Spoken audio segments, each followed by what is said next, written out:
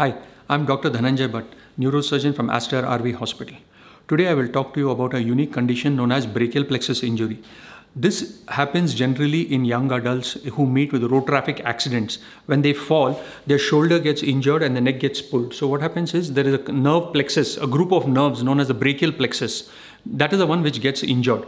These are nerves which come from the neck and go to the hand and supply all the muscles of the hand. Following injury, these patients develop weakness of the hand, either complete or partial.